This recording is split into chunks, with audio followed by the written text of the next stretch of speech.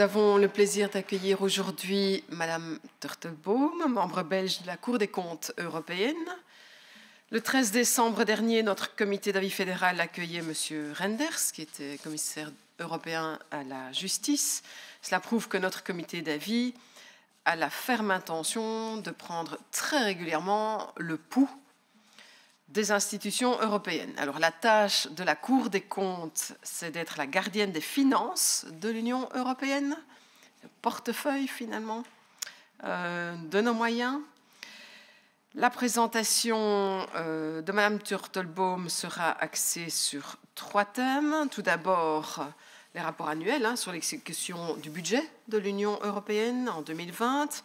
Ensuite, euh, plusieurs rapports spéciaux de la Cour, dont celui sur le déploiement des réseaux 5G au sein de l'Union européenne, un débat qui est bien présent chez nous aussi. La Cour a constaté que les retards compromettent la réalisation des objectifs fixés par l'Union européenne pour le déploiement des réseaux 5G et qu'il nous faudra consentir des efforts supplémentaires pour répondre à toutes les questions de sécurité. Ensuite aussi, un rapport spécial sur le droit des passagers aériens.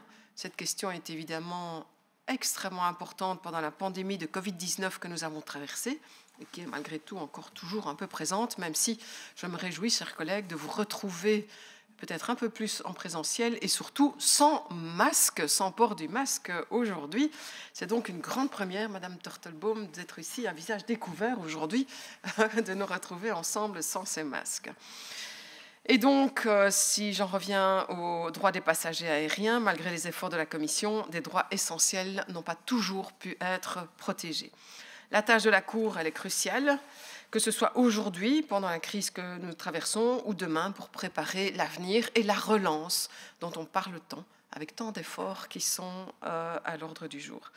J'applaudis aussi l'initiative du président de la Cour des comptes européenne de consulter le Parlement fédéral pour établir le programme de travail de la Cour des comptes européenne pour 2023 et même euh, au-delà. Le comité fédéral chargé des questions européennes de notre Parlement belge et la commission des finances aussi et du budget de la Chambre sont évidemment tout à fait prêts, c'est notre, notre, message, prêts à coopérer dans cette entreprise. Vous allez être notre messagère. Merci Madame Turtelbaum, vous avez la parole. Voilà. Un tout grand merci Madame la Présidente et Mesdames et Messieurs les membres de la Commission je vous remercie de m'avoir euh, invité à présenter les activités de la Cour des comptes européenne. Et comme vous l'avez déjà dit, je commencerai par vous exposer les constatations principales de notre rapport annuel 2020. J'enchaînerai avec un aperçu de mes audits publiés en cours ou planifiés et je terminerai par deux rapports de la Cour pour lesquels j'ai été membre euh, rapporteur et qui, et qui présentent un intérêt pour la Belgique. Et bien évidemment, on a euh, la possibilité d'aussi avoir des euh, questions et des réponses. Voilà, et maintenant, le prochain slide. Voilà, merci beaucoup. Voilà, j'ai le plaisir de vous présenter notre rapport annuel 2020. Le rapport annuel est le principal produit de la Cour. Il marque le début du cycle de décharge pour l'exercice 2020 par lequel le Parlement européen valide la gestion du budget de la Commission. J'insiste sur ce point car il s'agit d'une des différences entre la Cour des comptes belge et la Cour des comptes européenne. Mais avant de passer à notre rapport annuel, je souhaiterais présenter brièvement quelques informations et chiffres clés concernant la Belgique dans l'Union européenne.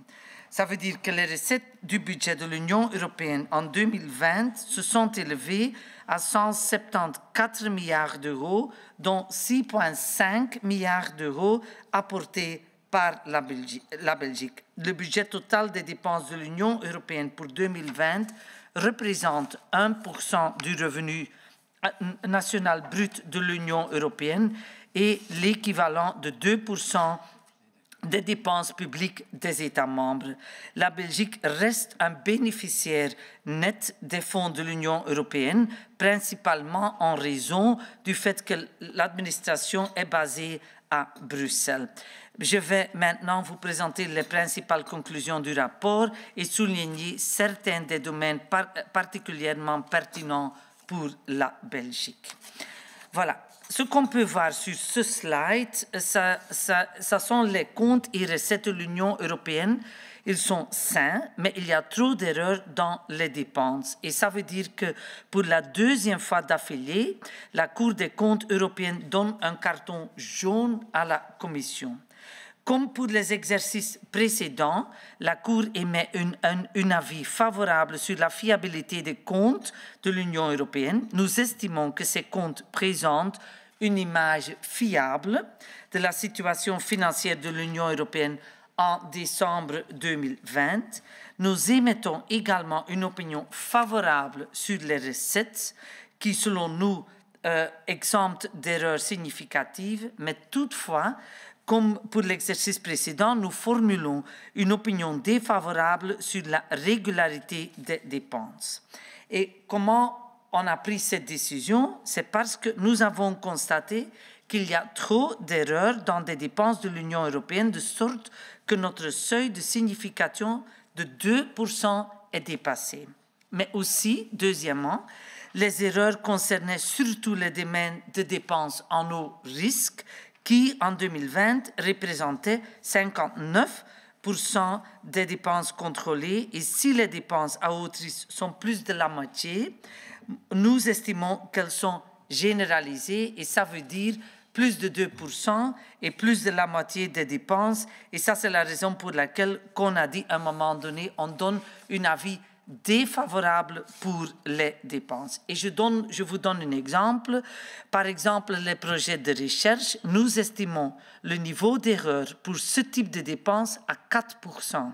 Ce sont les projets coûts inéligibles, les infractions aux règles du marché intérieur et l'absence de pièces justificatives essentielles qui ont contribué le plus à notre niveau d'erreur estimative il y a une différence qui est quand même très importante. Et ici, si vous voyez sur le slide, vous voyez qu'en fait, on pense qu'il y a, on dit qu'il y a un taux d'erreur entre euh, le moyen, c'est 2,7% et ça dépasse le 2% qui est notre seuil. Euh, il y a une différence assez importante pour la Cour des comptes et c'est euh, exactement la même chose ici en Belgique. C'est en fait en notre qualité d'auditeur externe de l'Union européenne, nous ne sommes pas mandatés pour enquêter sur les cas de fraude présumée portant atteinte aux intérêts financiers de l'Union européenne. Mais nous communiquons tous les cas de fraude présumés que nous détectons lors de nos travaux de l'audit à Olaf et en 2020, nous lui avons communiqué six cas de fraude présumés contre neuf en 2019, ce qui l'a amené à ouvrir six enquêtes. Le slide suivant, uh, daar zie je op wat wij noemen de niet afgewikkelde vastleggingen op een nieuwe recordhoogte. Wat betekent dat? Zoals uh, bij alles heb je natuurlijk tussen een vastlegging en een betaling heb je een bepaalde periode. Dat is ook als privégezin zo. Als je een keuken aankoopt, tussen het bestellen van de keuken en het betalen ligt een zekere periode. Nu, wat zien we nu? Wij noemen dit niet afgewikkelde vastleggingen. Dus dat zijn vastleggingen die nog niet betaald zijn. Maar wat je hier kan zien, is dat dat tot 310 miljard gaat. Dat is het dubbele van een jaarbudget. Dus dit betekent dat er twee jaarbudgetten zijn waarvoor al engagementen zijn aangegaan, maar waar nog geen betalingen tegenover gebeuren. Wij uiten daar altijd een bezorgdheid tegenover. Waarom? Omdat uh, dit vanuit een budgetair oogpunt niet gezond is om zoveel uitstaande niet-betalingen, niet afgewikkelde vastleggingen te hebben. Maar ten tweede natuurlijk, hoe trager het geld in de economie gaat, hoe minder snel men natuurlijk ook een effect heeft op de economie. En dat zie je ook op de volgende slide, waarbij je vooral toch ziet, en dat is een, een punt dat een, een, een aandachtspunt blijft voor België, dat is de absorptie van ESI-fondsen dat een uitdaging blijft. Als je ziet op de linkerkant van de slide, daar zie je dat voor België de absorptie van de fondsen ook in 2020 trager blijft verlopen. Als je eh, ziet dat het absorptiepercentage in 2020 was wel met 11 procentpunt gestegen, maar het bedraagt nu 51 procent. Dat betekent, men heeft tot eind 2023 om die fondsen te absorberen. Dus dat is nog um, uh, twee jaar en een half. Maar het gaat ook nog altijd om 49 procent dat nog moet geabsorbeerd worden. Uh, dit betekent, als je dat in absolute cijfers zet, dat er eigenlijk op dit moment van het vorige meerjarig financieel kader nog altijd 1,3 miljard euro vrij beschikbaar is. Uh, dat opgenomen moet worden tegen eind 2023. Als je daar dan bovenop telt het geld van het Herstel- en Veerkrachtfonds, het RRF, uh, dat waar 5,9 miljard euro naar België zal gaan, met dan het nieuwe geld van het nieuwe MFF, dat 2,7 miljard euro bedraagt, betekent dit dat er in totaal tussen nu en eind 2000 en 2027 er een totaal is van bijna 10 miljard euro dat ter beschikking is voor uh, België. Dan heb ik een aantal heel kleine voorbeelden gegeven voor België die in ons jaarrapport zien. Je ziet die op de volgende slide. Ten eerste, en dat is toch wel belangrijk, in België zijn er volgens onze analyse geen kwantificeerbare fouten gevonden bij economische, sociale en territoriale cohesie. De cohesiefondsen, die normaal gezien toch ook wel gevoelig zijn voor fouten, is er eigenlijk in België geen enkele fout gevonden. Op de volgende slide zie je dat we ook meer en meer gebruik maken van innovatieve monitoring in de landbouw. Dus wij gebruiken bijvoorbeeld drones en dat gebeurt hier in België, in een van de gebieden in België, waarbij we uh, controle doen door monitoring in de landbouw, waarbij we gebruik maken van geautomatiseerde processen om te kijken dat effectief de oppervlakte van de gronden die landbouwers, waarvoor landbouwers steun krijgen, dat die oppervlakte effectief overeenstemt met de realiteit. En dit doen wij hier op basis van um, um, uh, uh, online beelden en online materiaal. Op een volgende slide is ook een klassieker voor België, met die een beetje typisch is. Een van de inkomstenbronnen voor België, dat zijn de douanerechten. Wij hebben vrij veel uitstaande discussiepunten met de Europese Commissie op vlak van douanerechten. Maar je ziet, op het eerste punt stond nog in 2020, hè, omdat toen Verenigd Koninkrijk nog deel was van Europa, uh, staat het Verenigd Koninkrijk, dan Nederland, dan Griekenland en dan België. Maar dat komt natuurlijk vooral omdat we de tweede grootste haven hebben van uh, Europa in Antwerpen en dat natuurlijk daar heel veel douanerechten worden geïnd en dat daar dan natuurlijk ook de discussiepunten zijn. Voilà. Dit is over het jaarverslag. Uh, uh, je propose, Madame la Présidente, que je continuerai et après on peut faire les, les questions et les, uh, pour. Voilà. Sur, hier ziet u een overzicht van al mijn rapporten, al mijn audits die ik tot nu toe heb gepubliceerd. Op de meer dan drie jaar en een half op de rekenkamer heb ik nu in totaal dertien audits gemaakt, wat een vrij intensief ritme is. Euh, Aujourd'hui, je vais vous présenter un rapport spécial sur les droits des passagers aériens durant la pandémie COVID-19. Et je travaille maintenant aussi sur un, et j'ai aussi fait une analyse consacrée au, au grand projet d'infrastructure de transport et bien évidemment aussi le rapport concernant le 5G. Mais je commencerai avec les droits des passagers. C'est un rapport qu'on a publié en juin 2021. Euh, cet audit était une priorité pour nous parce qu'il a été bouclé et en, un temps record, à savoir six mois entre l'établissement du plan d'activité et la publication du rapport.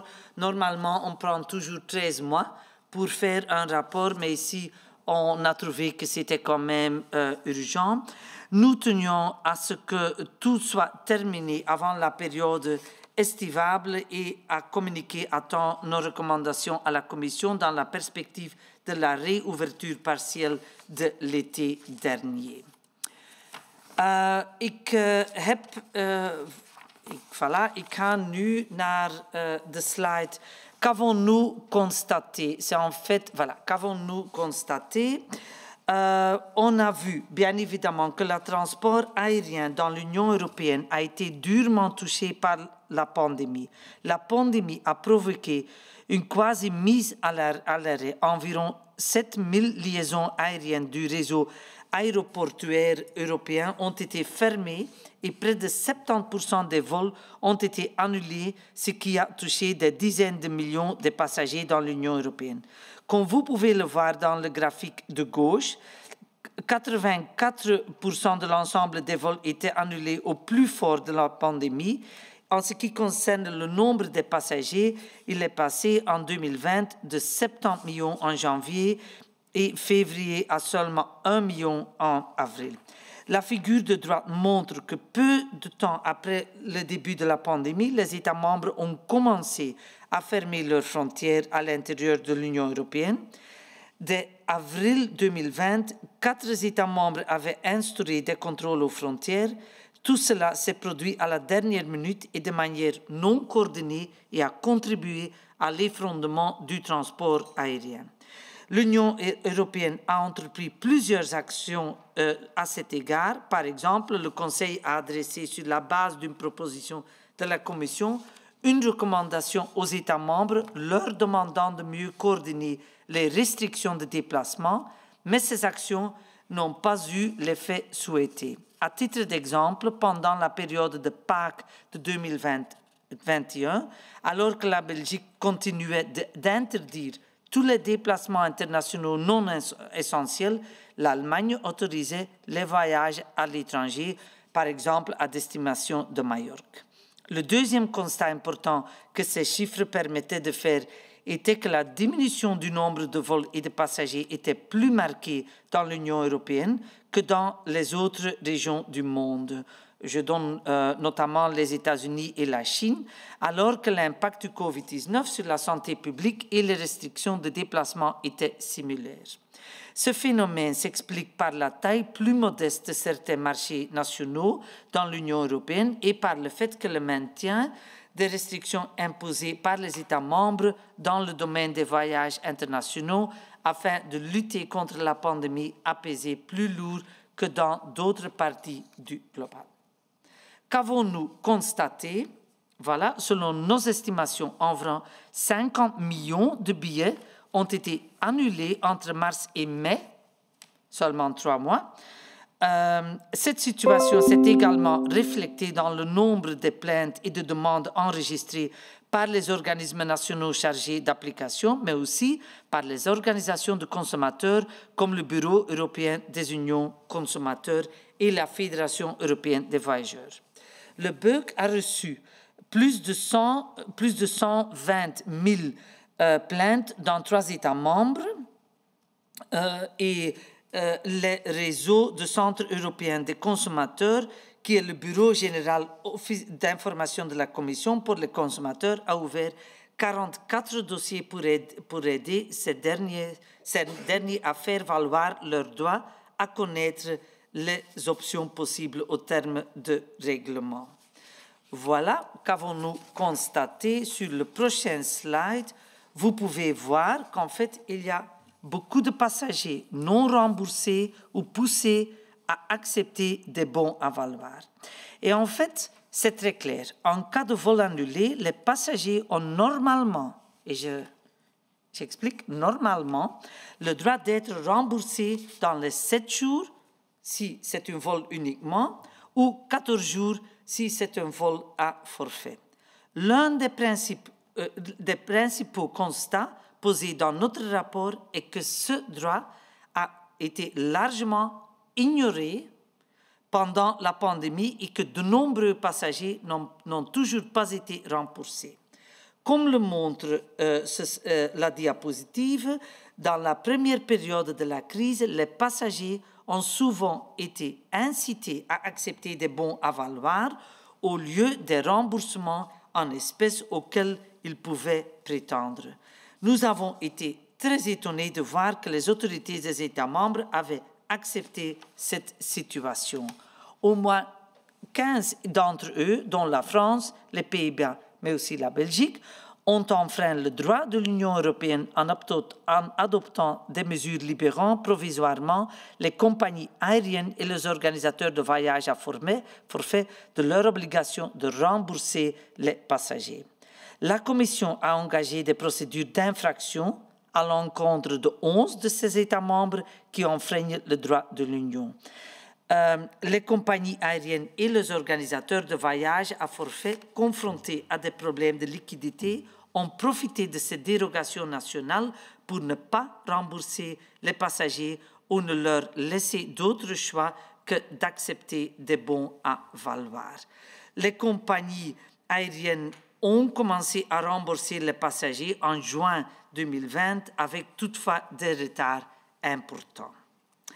À la fin de notre audit, de nombreux passagers n'ont toujours pas été euh, remboursés. Il s'agissait en particulier de consommateurs qui se sont vus imposer des bons à valoir ou qui ont réservé leur vol en passant par des intermédiaires comme des agences de voyage. Dans ce deuxième cas, les compagnies aériennes et les agences de voyage se renvoyaient en outre, en outre la balle, les unes et les autres, estimant que le remboursement des billets ne leur incombe pas. Voilà. Qu'avons-nous aussi constaté? C'est en fait, en même temps, et ça c'est la prochaine diapositive, c'est en fait que les compagnies aériennes et les organisateurs de voyages à forfait ont perçu près de, près de 35 milliards d'euros d'aide d'État, mais ils ne les ont pas toujours utilisés pour rembourser les passagers.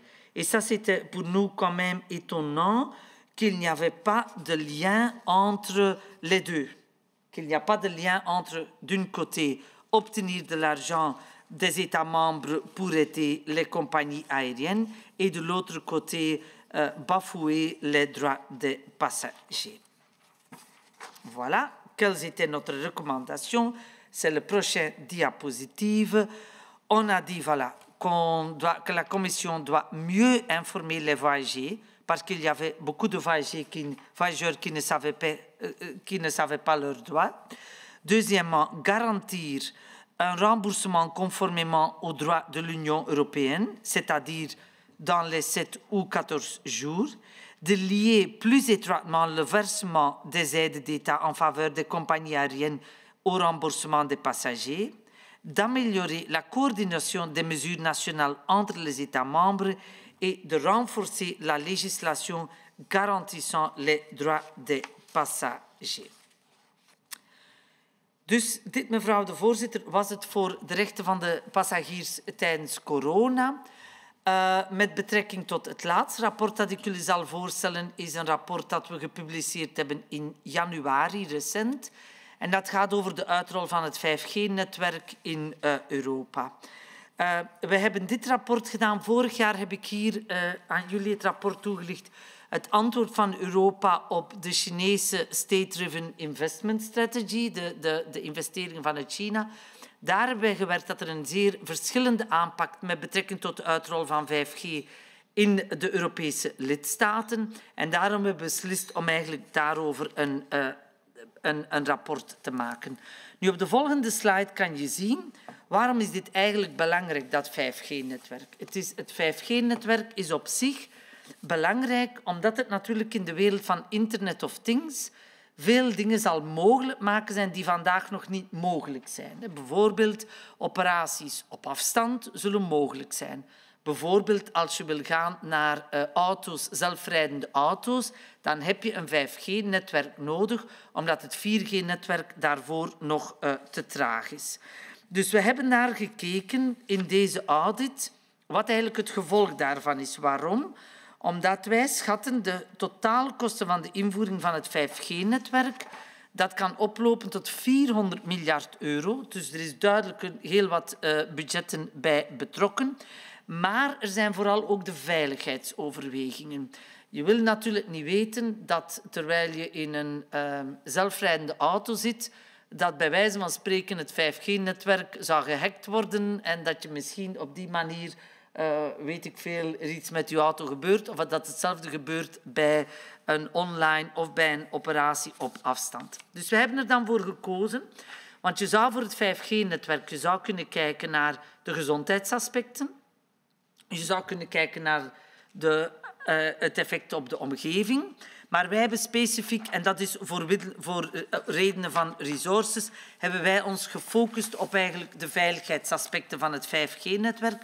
Waarom? Omdat je natuurlijk door alle grenzen in Europa en de landen die toch, de kleine landen die ook dicht bij elkaar liggen, is natuurlijk die grensbewaking van belang en is natuurlijk de veiligheid van het netwerk in één lidstaat ook van belang in een andere lidstaat. Nu, wat hebben wij gekeken? Dus je ziet op de volgende slide, we hebben gekeken ten eerste, zal Europa zijn doelstellingen tegen 2025 en 2030 uh, realiseren? Wat is de doelstelling voor 2025? Dat is een 5G-netwerk hebben in alle grote steden. Wat is de doelstelling voor 2030? Is om overal in Europa een 5G-netwerk te hebben. Ten tweede hebben we gekeken, is er een gecoördineerde aanpak tussen de 27 lidstaten met betrekking tot die uitrol van het 5G-netwerk. Nu, wat waren onze bevindingen? Onze bevindingen waren, ten eerste met de uitrol, hebben we gemerkt dat Europa duidelijk achterloopt met de uitrol van het 5G-netwerk. Als je ziet op de slide wat um, uh, licht roze, wij hebben het ingedeeld. Het lichtroze is wat is de kans dat de doelstelling bereikt wordt. Is laag is lichtroos, middelroos is middelmatig en dan het donkerroos is eigenlijk, het is hoog, de kans is hoog dat het uitgerold wordt. Maar dan zie je dat eigenlijk in meer dan de helft van de lidstaten de kans laag is of de kans middelmatig is om een effectief uitrol te hebben van het, laag, van het 5G-netwerk in de verschillende lidstaten. Um, uh, we hebben ook gezien, ook in België is het nog geen evidentie dat het 5G-netwerk zeker zal uitgevoerd worden. Op de volgende slide kan je zien dat het niet alleen gaat over de tempo van het uitrollen, maar natuurlijk ook over de kwaliteit van de dienstverlening. Nu, de commissie heeft de verwachte kwaliteit uh, van de dienstverlening van 5G-netwerken uh, niet omschreven, maar ze heeft een prioriteit gegeven aan de mogelijke niveaus van invoering ervan. Nu, belangrijk is dat je een snelheid, een bepaalde snelheid en een bepaalde latentietijd hebt. Ik geef een voorbeeld. Voor operaties op afstand of voor industriële automatisering met behulp van 5G heb je hoge snelheid nodig, maar een lage latentietijd nodig. Op dit moment zijn er maar twee landen die daaraan voldoen. Dat is Duitsland en Griekenland. Dus als je een netwerk uitrolt, dan is ook die kwaliteit van zeer groot belang. En dit is, uh, is dit prangend? Nee, maar het is natuurlijk wel een belangrijk punt van zorg. Um, we hebben, uh, en je ziet bijvoorbeeld ook op de rechterslide, zie je de diversiteit. Die, op de rechterkant van deze slide zie je ook de diversiteit tussen de verschillende landen. Nu, wat waren ook onze bevindingen? We hebben ook gekeken, een volgende bevinding is eigenlijk alles wat betrekking heeft op de uh, gegevensbescherming. Waarom? Omdat je eigenlijk ziet dat zes, zes van de acht grootste leveranciers van 5G, van de vendors, zijn niet in Europa gevestigd. Met daarbij, met inbegrip van Huawei, dat in handen van China is, en Samsung, dat in handen is van uh, Zuid-Korea. Nu, de wetgeving in die landen is natuurlijk, kan aanzienlijk afwijken van de Europese, van de EU-normen, vooral wat met betrekking tot de gegevensbescherming. Nu, de commissie is begonnen met het aanpak van deze punten, maar uh, ze is nu in contact met verschillende landen om er toch voor te zorgen dat die privacybescherming voor uh, persoonswaarborgen dat die gegarandeerd uh, kan uh, blijven. Um, maar het is dus wel van belang, we moeten allemaal goed rekening houden met dat verschil. En om een voorbeeld te geven, vandaag zijn twee derde van de Europeanen zitten voor hun 4G-netwerk eh, bij een Chinese telecomoperator. Twee derde. Dus als die lijn verder gaat, dan kan je daar verder. Is dat per definitie slecht? Dat zeggen we niet. Wij hebben vooral dan gekeken wat is het effect op dat vlak op het vlak van dataprotectie. Op de volgende slide zie je ook dat we gekeken hebben ook naar uh, wat is de informatieuitwisseling, hoe dat de lidstaten de toolbox hè, die de Europese Commissie gemaakt heeft om het 5G-netwerk uit te rollen, hoe dat die geïnterpreteerd wordt. En dan zie je, ik ga ze niet allemaal aflopen, maar je ziet daar op de slide hebben de voorbeelden gegeven. Hè, voor wie erin geïnteresseerd is, dat Zweden, Finland, Letland, Denemarken, dat die een andere interpretatie hebben dan bijvoorbeeld Cyprus het heeft. Nu, die toolbox is eigenlijk zeer goed geweest om de lidstaten te helpen bij de uitrol van dat 5G-netwerk.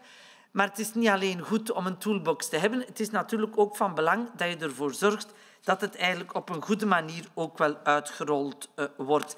En wat merken we vooral? Dat eigenlijk de lidstaten maar weten wat er in het buurland gebeurt via de kranten. Op zich is dat goed, want op zijn minst staat het in de kranten. Maar beeld u dat het niet in de kranten staat, dan weet je bij wijze van spreken niet hoe een buurland het uitvoert. Op de volgende slide zie je dat um, um, zie je ook, en dat is een kleiner probleem, maar dat kan een groter probleem worden. Er zijn lidstaten die er op een bepaald moment voor gekozen hebben om bepaalde vendors, bepaalde leveranciers op korte termijn uit hun netwerk uit te brengen. Ja? Om, om bijvoorbeeld te zeggen, je gaat niet meer aanwezig zijn als je leverancier X bent, dan ga je niet meer mogelijk zijn om in het core-netwerk van uh, uh, onze telecommunicatie aanwezig te zijn. Als je natuurlijk die rollout moet doen op heel korte termijn, dan kost dat natuurlijk veel geld en dan is het eigenlijk niet zeker of dit valt onder state aid, of dit eigenlijk in overeenstemming is met staatssteun, want anders kan dit natuurlijk wel een groot financieel effect hebben voor de verschillende lidstaten. Om te besluiten, wat zijn onze aanbevelingen? We hebben vooral gezegd, bevorder een gelijkmatige en een snelle invoering of uitrol van het 5G-netwerk. Tweede, zorg dat je alsjeblieft een gecoördineerde aanpak hebt, zeker op vlak van beveiliging. En ten derde, monitor de aanpak van de lidstaten met betrekking tot de beveiliging en beoordeel de impact van de verschillen op de eengemaakte markt. Want we weten natuurlijk dat het 5G en de Internet of Things dat daaruit zal volgen, dat dit natuurlijk een hele grote economische uh, uh, sterkte kan zijn voor Europa. Maar dan moet je natuurlijk wel zorgen dat het op een veilige en op een goede manier gebeurt. Voilà, Madame la Présidente, ça c'était mon introduction. Je regarde et je, euh, je pense que je suis restée dans une période d'une demi-heure.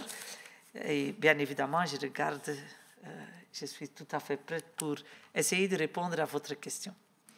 Merci beaucoup pour cette présentation qui portait à la fois sur le rapport annuel mais aussi euh, sur les rapports euh, spéciaux. Et donc, euh, d'emblée, je vais passer la parole à nos membres. Je vois un sourire à l'écran. Mevrouw van Bossuit, natuurlijk. Alsjeblieft. Dank u wel, uh, mevrouw de, de voorzitter. Uh, goedemiddag ook collega's. Dank u wel ook aan mevrouw Turtelboom voor, voor de toelichting. Um, ik heb een aantal vragen op basis van de zaken die u heeft verteld. Um, u heeft een, een pijnpunt aangehaald, namelijk uh, de gebrekkige absorptie door door België van de, de beschikbare Europese uh, middelen. En uh, u stelde eerder zelf al in een artikel in de, in de standaard hier van het zou de moeite lonen dat België onderzoekt hoe het komt dat er zoveel geld beschikbaar is dat, dat nog niet is gebruikt, stelde u. Nu, uh, mijn vraag is aan u of u, en ik veronderstel van wel, of u enkele ideeën heeft of zaken weet die um, aan de oorzaak of aan de basis zouden kunnen kunnen liggen van het feit uh, dat er zo'n lage absorptie door België is. Een zaak waar ik spontaan aan denk bijvoorbeeld is onze ingewikkelde staatsstructuur. Zou dat bijvoorbeeld een reden kunnen zijn voor die lage absorptie? Ik weet dat dat bijvoorbeeld een van de redenen is voor de latijdige omzetting vaak door België van Europese richtlijnen, omdat je nog weet wie dat bevoegd is en dit en dat. Dus uh, zijn er zaken die u hier um, zelf op basis van ook de vergelijking met onze, onze buurlanden of andere Europese landen kan, uh, kan aanhalen, zodanig dat we toch uh, op een meer optimale manier gebruik zouden kunnen maken van die Europese middelen? En dan een beetje daaraan gelinkt is de foutenmarge. Um, inderdaad, een, een, klassiek, tussen aanhalingstekens, jammer genoeg probleem dat we, dat we elk jaar moeten, uh, moeten vaststellen dat die foutenmarge heel hoog ligt. Daar ligt de fout niet bij de Europese Unie, maar bij de lidstaten zelf. Um, en ook hier eigenlijk voor u dezelfde vraag. Um, op welke manier denkt u uh, om die, dat die foutenmarge toch uh, enigszins zou, zou kunnen dalen? Um, ik denk het feit dat die foutenmarge zo hoog ligt, uh, heeft misschien ook te maken met het feit dat voor, voor velen Europa nog een, een ver van mijn bedshow is, dat misschien niet elke lidstaat de nodige administratieve um, middelen heeft of instanties om ervoor te zorgen dat die middelen op de juiste plaats eh, terechtkomen enzovoort. Dus, dus ook hier um, die vraag. Dan um, wat um, de passagiersrechten, of meer bepaald wat de twee concrete dossiers betreft die u aanhaalde. Ik had hier ook nog zaken uh, opstaan rond de Balkan en de terugnameakkoorden, maar aangezien u daar zelf niet op bent ingegaan, zal ik daar geen vragen over stellen. Maar ik vond heel interessant uw, auditrapport dat u voorstelde over de passagiersrechten.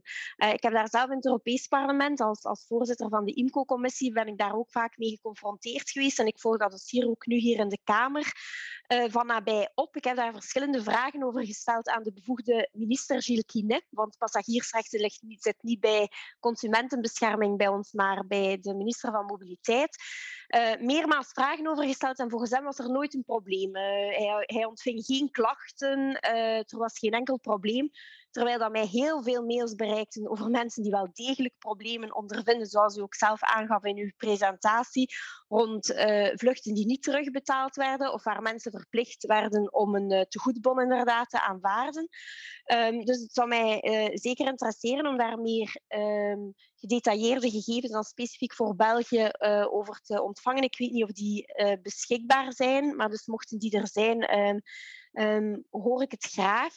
Um, en dan een, een, een, element, u haalde een, een voorbeeldje aan, een ander voorbeeld. Um, ik denk uh, er in, een reden waarom die passagiersrechten ook minder uh, nageleefd werden tijdens corona was ook door de, de verschillende kleurencodes, of beter gezegd, door een afwezigheid van coördinatie tussen de verschillende lidstaten over de kleurencodes. Dus zoals u zelf zegt, als bijvoorbeeld Malta voor, voor België uh, kleurcode rood had, uh, maar Malta zelf vanuit het buitenland wel mensen ontving, dan konden Belgen bijvoorbeeld niet, uh, geen terugbetaling krijgen voor een geannuleerde vlucht. Dus ik denk dat daar toch op Europees niveau betere en meer coördinatie moet komen in de toekomst. En dan een, uh, een vraag daaraan gelinkt is, ik weet dat er momenteel op Europees niveau gekeken wordt naar een hervorming van de passagiersrechtenrichtlijn, uh, waarbij bijvoorbeeld um, voor de, de vertraging van vluchten, ik zal het anders formuleren, dat er een veel langere vertraging mag zijn voor vluchten alvorens er kan tussengekomen worden um, naar de, naar de consumenten toe. Uh, mijn vraag is of u hier uh, meer zicht op heeft en wat, u, uh, wat uw mening hierover is. En dan tenslotte wat um, het 5G-netwerk betreft en de uitrol daarvan um, binnen de Unie. Um, u heeft eigenlijk twee van uw drie aanbevelingen hadden direct of indirect betrekking op veiligheid. En uh, ja, ik denk dat we gerust een kat een kat mogen noemen. Uh, we weten allemaal dat er al lidstaten beslist hebben om expliciet niet met um, Chinese um, uh, bedrijven te sam samen te werken om het 5G-netwerk aan te leggen. ik denk dat de, de, de zaken die we vandaag zien met Oekraïne ons alleen maar nog meer met de neus op de feiten drukken over het belang van de onafhankelijkheid van, van derde landen. Dus mijn vraag is wat uw uh, mogelijke aanbevelingen uh, hier uh, zijn. Dus specifiek rond dan bijvoorbeeld werken met um, niet-Europese bedrijven om dat 5G-netwerk um, ehm, uit te rollen. We zien ook um, dat België daarmee mee bezig is. En mijn vraag hier is hoe u, u de, de, de, inspanningen en de evolutie die België hierop maakt, hoe evalueert u uh, die. Dus uh, tot daar, mevrouw de voorzitter. Dank u wel. Dank u wel, mevrouw Van Bossuit. Monsieur Flauw. Euh, merci, Madame la, la, Présidente, et merci, Madame la, la commissaire, je ne sais pas, à la membre de la commission ou de la Cour. Euh, tout d'abord, j'hésitais à venir à, à, la réunion, et puis tout compte fait, je ne regrette pas d'être venu. Premier élément. Euh, première, euh, première remarque, euh, on n'est pas venu, mais il y a eu, c'est à côté, il y a eu quelques remous autour du personnel de la Cour des comptes européenne à un certain moment. Est-ce que ces problèmes sont maintenant aplanis? Ça, c'est une première question. L'autre élément, je trouve que on a dans votre dans la question de méthode, que se passe-t-il vis-à-vis des parlements des entités fédérées et euh, des gouvernements des entités fédérées et du gouvernement fédéral. Est-ce qu'il y a euh, communication? Est-ce qu'il y a un échange par rapport à, vos constats qui sont faits, euh, qui sont des constats naturellement intéressants dans la mesure où vous annoncez des choses positives à échéance de milliards disponibles et non utilisés bah, Ça vaudrait peut-être la peine de, sensibiliser encore plus les responsables des entités fédérées et du gouvernement fédéral et tous ceux qui doivent prendre des décisions. Ou alors peut-être de l'autre côté s'interroger si euh, les procédures européennes euh, ne sont pas des procédures trop lourdes, trop bureaucratiques, trop complexes, qui font que des gens se découragent en introduisant euh, l'un ou l'autre dossier pour obtenir l'une ou l'autre intervention. Je crois qu'il y a de cela et ça se constate aussi, notamment dans les projets européens, les appels à projets européens dans les pays euh, d'Afrique, par exemple. C'est particulièrement préoccupant et ce n'est donc pas étonnant que tous les moyens ne sont pas utilisés. Ensuite, euh, votre exposé donne des, perspectives euh, qui méritent d'être connues. Euh, l'autre élément, c'est euh, l'autre élément, c'est euh, ce qui concerne les voyages, en quelque sorte. C'est vrai que c'est préoccupant, et c'est vrai que ça vaudrait la peine d'être euh, un peu plus approfondi. Est-ce que les, associations de consommateurs, par exemple, se sont ont été sensibilisés par cette euh, réalité qui effectivement pénalise sans doute celles et ceux qui, euh, fatigués par les démarches à entreprendre et les écoutes multiples au téléphone avec des robots qui répondent qu'il faut patienter, que tous les appareils sont occupés, pour être remboursés. Mais c'est quand même, c'est quand même dommage de constater ce genre euh, de choses. Quant euh, à la dernier élément en ce qui concerne la boîte à outils, c'est vrai, il y a beaucoup de boîtes à outils au niveau européen, mais on ne donne pas toujours le, la mode d'emploi. C'est un peu comme chez Ikea, quoi, il y a plein de trucs, mais on n'arrive jamais à construire tout correctement, et donc on perd et du temps et de l'énergie et des euh, moyens. Et alors, en ce qui concerne la 5G, est-ce que véritablement ce n'est pas faire preuve d'un optimisme trop grand que de croire qu'on sera prêt avec quelque chose au niveau européen dans les délais que l'on s'est fixés Voilà, merci beaucoup. Merci beaucoup, Monsieur Flauw. Uh, mevrouw Samin, alsjeblieft. Dank u, mevrouw de voorzitter. Uh, ja, collega's. Goedemiddag. Ja, dank u mevrouw Turtelboom voor uw toelichting. Nu ja, gebaseerd op de bevindingen van de Europese Rekenkamer voor het jaar 2020 doet deze een reeks aanbevelingen aan de commissie. Nu, de Europese Rekenkamer concludeert dat de meeste aanbevelingen van het jaarverslag 2017 zouden zijn opgevolgd. Alleen stellen zich nog problemen met twee aanbevelingen van het verslag 2018 en aanbeveling 2 van het jaarrapport 2019 dat niet geïmplementeerd is. Ja, ten eerste bevelen ze aan dat de commissie de nodige stappen zet om internationale organisaties tijdige, ongelimiteerde en volledige toegang tot documenten te laten bezorgen aan de Rekenkamer, zodat zij haar taken volgens het werkingsverdrag van de EU terdege kan invullen. Maar blijkbaar gebeurt dit momenteel nog vaak in alleen lezen format. Ja, ten tweede beveelt de Rekenkamer aan dat er reserves worden aangelegd in alle domeinen met hoog risico, ongeacht hun aandeel in de totale uitgaven en hun financiële impact. En ten derde is er de aanbeveling om aan de RER-studie de meting van fouten die alle preventie, detectie en correctiecontrole ontsnappen, de verplichting te koppelen om elke vermoedelijke fraude tegen het EU-budget tijdens de RER-studie te rapporteren. Mijn eerste vraag is, wat is er intussen gebeurd met deze drie aanbevelingen? Voor de derde kreeg men tijd tot eind dit jaar, maar de overige zouden intussen toch al moeten geïmplementeerd zijn. En is dat dan zo? En mijn tweede vraag gaat eigenlijk over um, burgerparticipatie. Ik kan me goed voorstellen dat de geïnteresseerde burgers die willen weten hoeveel belastinggeld er naar de EU vloeit, graag dit soort documenten op bevattelijke en beknopte wijze zouden lezen. Worden er stappen ondernomen om deze jaarrapporten van de Rekenkamer, hetgeen toch uh, fundamentele controledocumenten zijn op de EU-begroting, of dat deze toegankelijker uh, zouden kunnen gemaakt worden voor een breed publiek? Ik dank u alvast voor uw antwoorden. Merci, Madame la Présidente. Merci, Madame Turtelbaum, pour euh, euh, votre rapport qui est toujours évidemment très instructif d'année en année. Et, d'ailleurs, on voit pas mal de similitudes hein, par rapport à, celui que vous nous aviez présenté l'année dernière. Euh, bon, sur la régularité, on voit que le seuil de 2% est dépassé, que euh, concernant euh, les dépenses à haut risque, on est à 59%, ce qui est quand même en effet assez inquiétant. je voulais vous demander, bon, les auditeurs ont, vous l'avez expliqué, émis une opinion défavorable sur les dépenses de l'Union européenne. à quel point, finalement, faut-il s'en inquiéter? Et comment expliquer les irrégularités constatées dans les dépenses de, l'Union européenne en 2020 euh, On l'a dit, les taux d'erreur sont stables d'année en année, à quelques dixièmes près. Euh, est-ce que pour vous, cela constitue un danger pour les finances européennes et celles des, États membres? Alors, une autre question concernant le LAF. Vous avez évoqué le fait que six cas de fraude présumés ont été avérés, enfin, ont été transmis à l'OLAF contre 9 cas en 2019. Moi, j'aimerais savoir le suivi de, ces annonces à l'OLAF, parce qu'en 2019, 9 cas, est-ce qu'à votre connaissance, les 9 dossiers de fraude présumés euh, se sont-ils avérés être réellement des fraudes?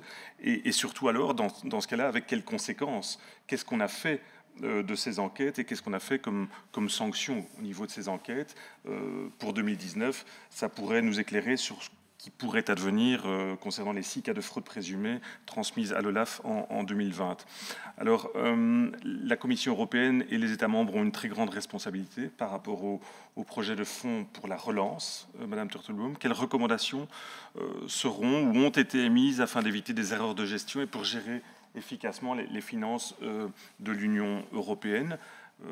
Les plans de relance dans le cadre du RRF, la, facilité pour la reprise et la résilience vont demander évidemment beaucoup de ressources euh, financières.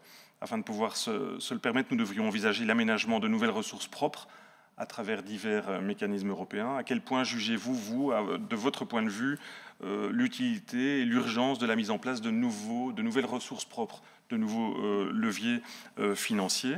Sur le trafic aérien, moi je suis assez abasourdi de, voir que 35 euh, milliards d'aides d'État ont été débloquées à destination des États, mais que malheureusement, vous l'avez dit, ces aides d'État ne sont pas toujours utilisées pour rembourser les, voyageurs.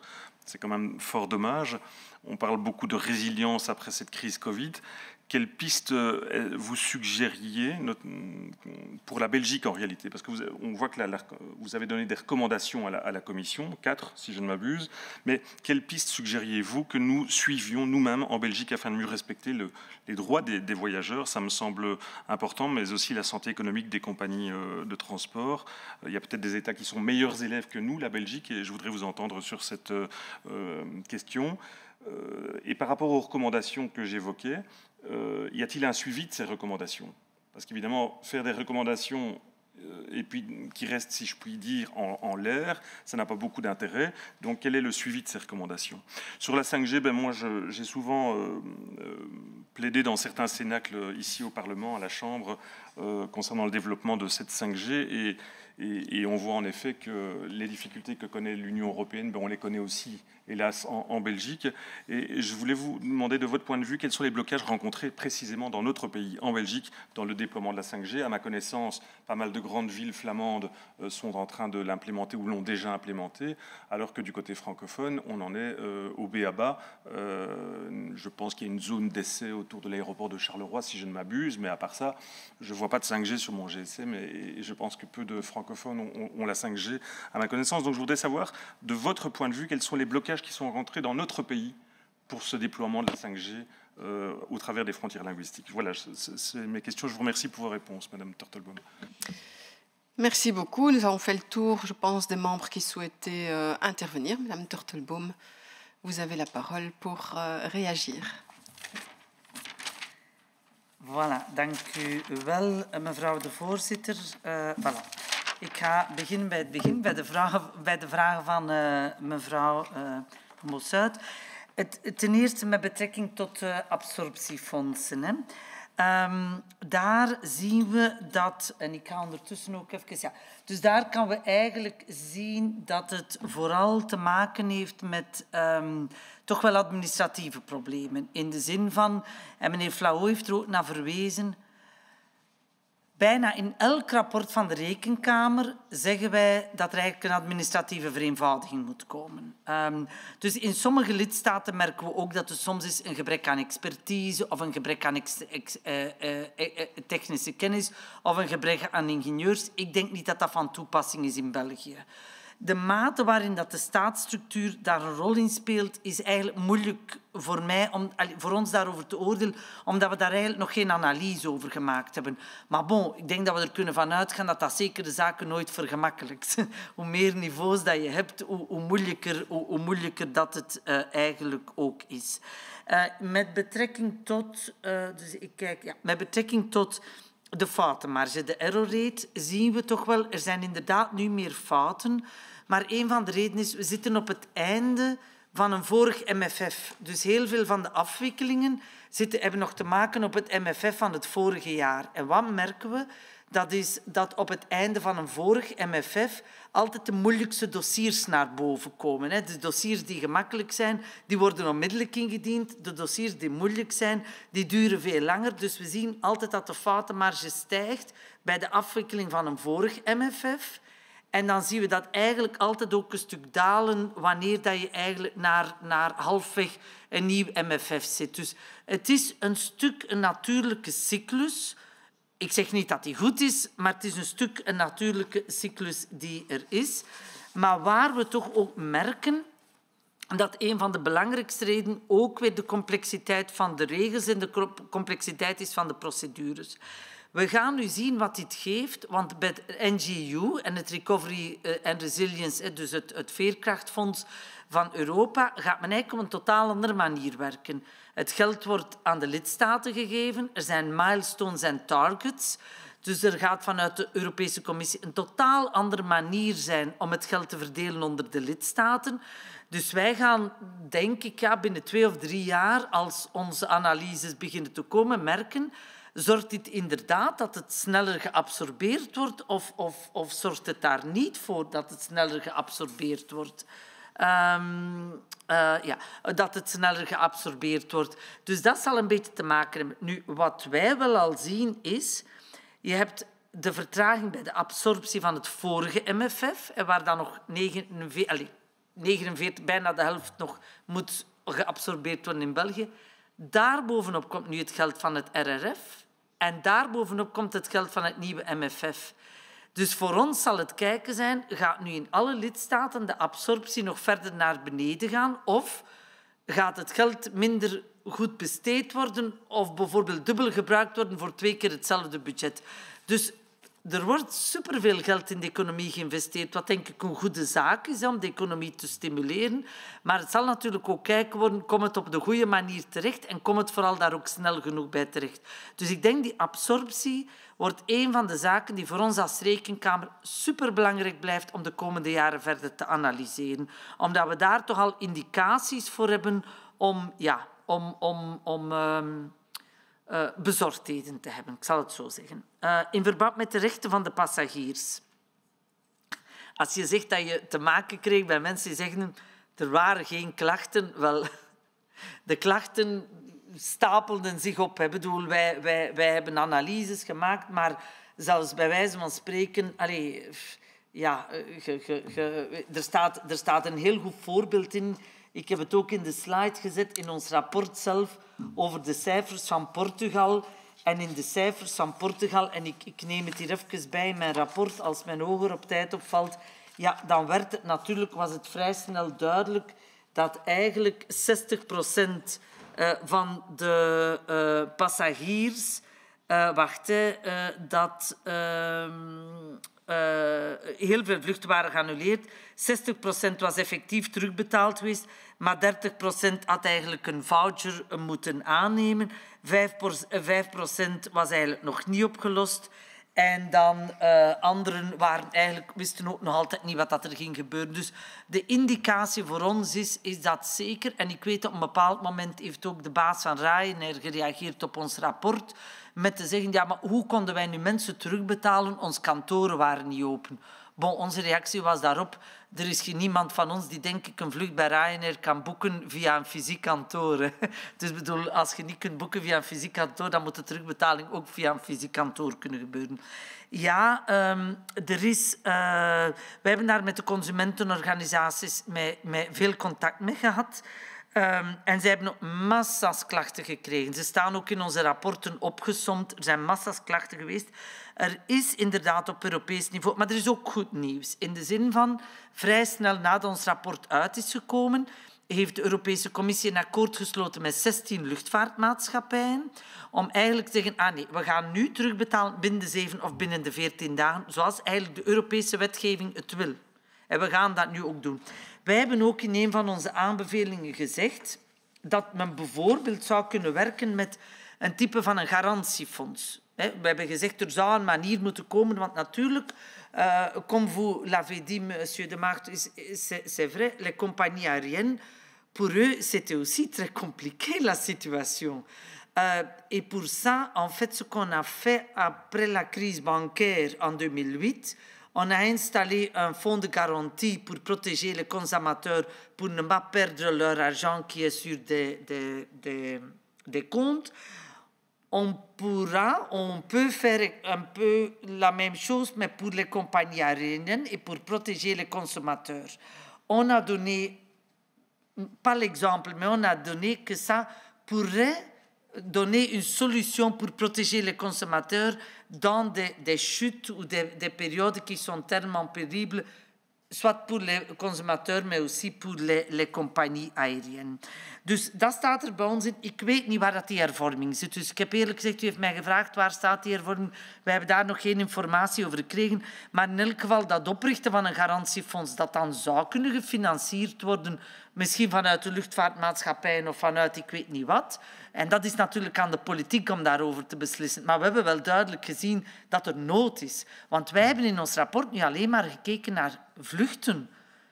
Maar heel veel mensen in België gaan op vakantie met de wagen en huren een huis of huren een hotel. Of, uh, huren een... Dus die zijn eigenlijk nog helemaal niet ons rapport gevat, terwijl dat die, denk ik, toch ook wel gevolgen zullen gehad hebben.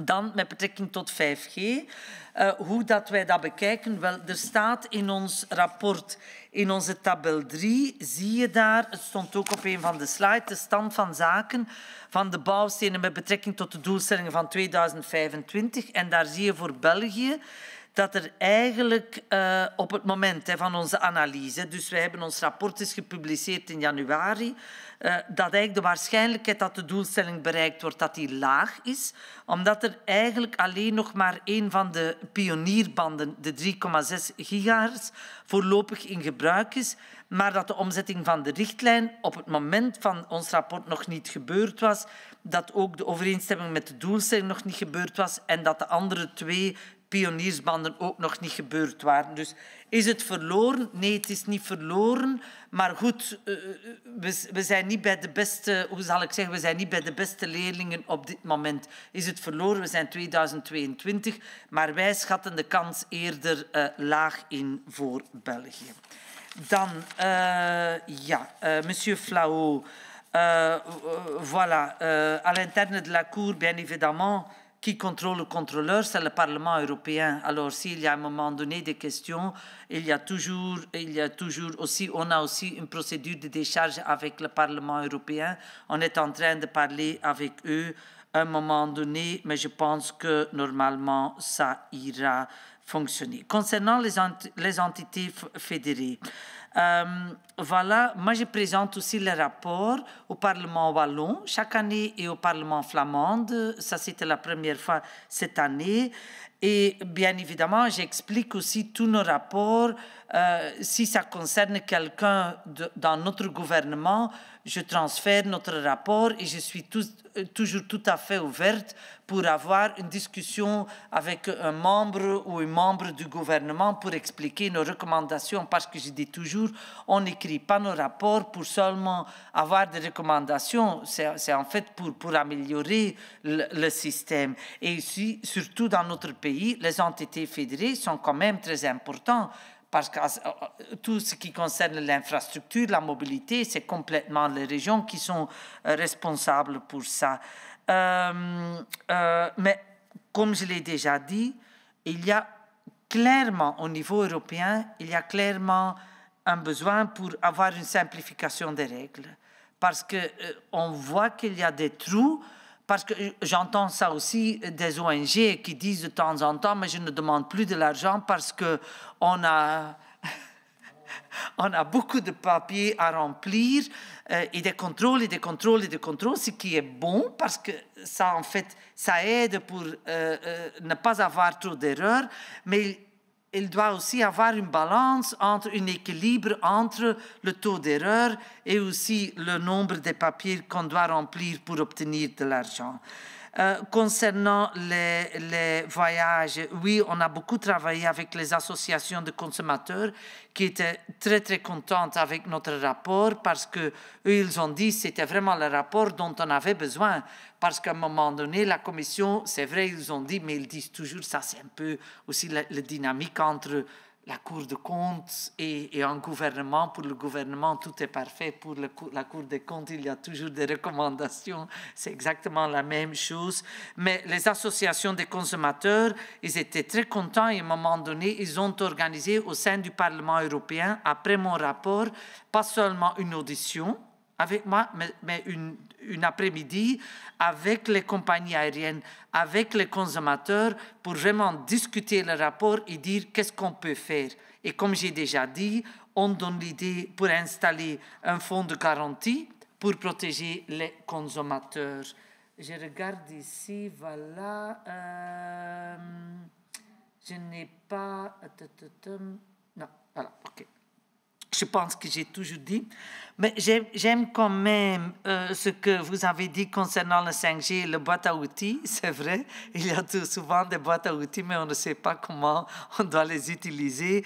Et ça, c'est en fait, c'est une bonne expression parce qu'on l'a vu aussi dans les États membres, que le boîte d'outils était là, était bien accueilli, euh, a vraiment bien aidé les États membres.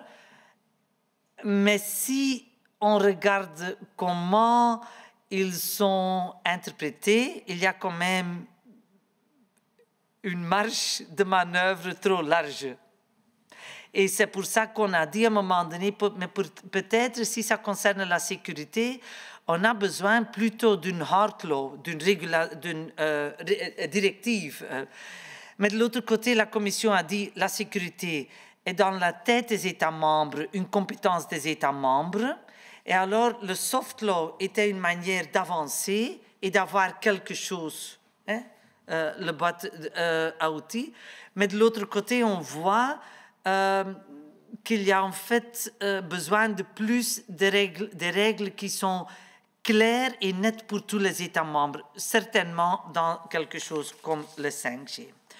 Uh, uh, voor mevrouw Samen. Nu moet ik even een, een hulplijn inroepen, want de drie aanbevelingen, ik heb weet van de drie aanbevelingen maar ik weet, durf eigenlijk niet zeggen of dat ze op dit moment allemaal al geïmplementeerd zijn. Want ik weet bijvoorbeeld bij de eerste aanbeveling in verband met de internationale organisaties die maar een heel gelimiteerde toegang gaven tot hun documenten. Ik heb dat zelf gezien bij een rapport over de transparantie van fondsen naar NGO's dat wij van um, uh, een bepaalde superorganisatie van de Verenigde Naties eigenlijk geen toegang tot de documenten kregen en dat we eigenlijk heel sterk hebben moeten aandringen.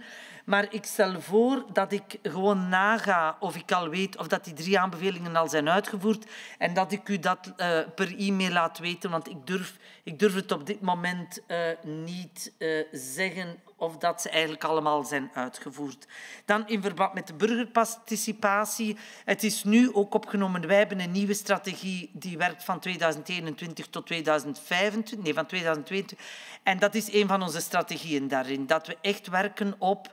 Uh, ja, zoals men het mooi Engels zegt, plain language. Duidelijke taal die begrijpbaar is voor iedereen. We weten natuurlijk dat sommige van onze rapporten, zeker als financiële rapporten zijn, dat die ja, dat die technischer zijn. Maar zelfs dan moeten we nog altijd proberen om ze duidelijk uh, te doen. We hebben daar ook onlangs een seminarie over gehad met een Duitse professor die een ganse analyse had gemaakt van de Europese bubbelwoorden, hè, die overal gebruikt worden, maar die eigenlijk niemand buiten de bubbel eigenlijk verstaat.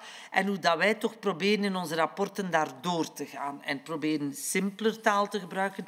Ik zeg niet dat we daar perfect in zijn, maar ik denk in ons rapport over de passagiersrechten dat we daar vrij goed zijn in gelukt. Uh, maar, maar, maar ja, goed, in andere rapporten die technischer zijn, blijft dat toch nog wel een uitdaging. Euh, concernant les questions de M. de Marc, les euh, six cas de fraude, euh, voilà, on a, au cours de l'année 2020, nous avons communiqué six cas de fraude. En 2019, euh, nous en avions transmis neuf. Et ce qui a donné lieu à l'ouverture de six enquêtes. Ça veut dire on donne aussi, on ne donne pas tous les dossiers à Olaf on fait toujours un peu un check pour voir si c'est quelque chose, c'est potentiellement un cas de fraude. Mais ici, je peux dire les six cas de fraude euh, ont donné lieu à l'ouverture de six enquêtes par l'OLAF. Euh, et les enquêtes sont en cours. Mais on ne sait pas les résultats des enquêtes, parce que ça, c'est bien évidemment, ça, c'est le, la séparation des pouvoirs, ça n'est pas, ça n'est plus à nous de savoir ce qu'ils font avec. Ce qu'on a fait euh, à partir de cette année, on a aussi euh, signé un accord de coopération avec EPO, euh, le prosecutor de European Prosecutor qui, a commencé, qui est aussi installé à Luxembourg. Pour, et maintenant, on a un accord avec Olaf et EPO qu'on sait combien de, de, de, cas on doit donner à EPO, combien de cas on doit donner à OLAF et quels sont les cas. On a un accord de coopération et on va commencer avec ça maintenant. Oui, voilà. Avec les nouvelles ressources, euh, est-ce que ça c'est nécessaire? Moi, je pense, euh, à partir de maintenant, ils ont installé déjà le, le, la ressource, les ressources concernant le plastique, le, de, de, de, comment on dit cela, de, de recycling, de euh, le recyclage, le recyclage, voilà, le recyclage. Maintenant, ils sont en train de penser normalement à partir de 2023, ils vont commencer avec de carbon euh, tax. Euh, on n'est pas sûr si ça va euh, commencer en 2023. Et concernant le digital tax, Maintenant, c'est un peu la discussion. Est-ce qu'ils vont, euh, euh, est-ce que ça va être mettre en œuvre à cause du fait qu'il y a le 15%, le, la décision du G7 concernant le taux de 15% pour tout, toutes les entreprises euh, mondiales. Voilà, ça c'est est-ce que c'est propre? On a donné quand même pas mal de remarques. Je peux en fait vous transmettre notre rapport qu'on a écrit concernant les nouvelles ressources et surtout concernant le recyclage parce qu'on avait quand même des doutes que ça va donner suffisamment de ressources, effectivement. Euh, mais je vais vous envoyer euh, le document. Euh, Concernant les droits des passagers, comme j'ai déjà dit, 16 compagnies aériennes ont conclu un accord avec la Commission après notre recommandation pour dire on va respecter les règles. Je trouve que c'est en fait une bonne nouvelle. Et ce qui est en fait remarquable pour nos recommandations, que toutes nos recommandations concernant les droits des passagers doivent être euh, euh, euh, réglés par la Commission fin 2021 et fin 2022. Alors, on, on leur a donné quand même un timing assez strict parce qu'on trouve, on était déjà dans une pandémie, et maintenant on est un peu on n'a plus les masques et, le, vie normale, euh, certainement ici, euh, malheureusement pas en Ukraine. Euh, on est dans la vie normale, mais ça veut dire on a donné quand même une, un timing assez strict pour eux. Et concernant les 5G et les problèmes en Belgique, comme j'ai déjà dit dans notre rapport, l'annexe 2 ou le, table, le tableau le, table 3 dans notre rapport, là, vous pouvez voir quels sont les problèmes pour euh, la Belgique. Mais c'est vrai qu'il y a quand même beaucoup de choses à faire pour régler tous les problèmes et qu'on peut avoir le 5G euh, partout. Je dois aussi vous dire, on a écrit à un moment donné un rapport il y a deux ans concernant le broadband et là, on a constaté qu'il y a quand même beaucoup de régions en Europe où il y a en fait, les citoyens n'ont pas accès à 3G, 4G, euh, réseau un peu raisonnable. Alors, je pense qu'il y a vraiment un travail à faire euh, pour l'Europe et pour tous les États membres aussi. Voilà, Madame la Présidente, j'espère que j'ai répondu à tous les questions. Attends. Ah oui, le suivi des recommandations aussi.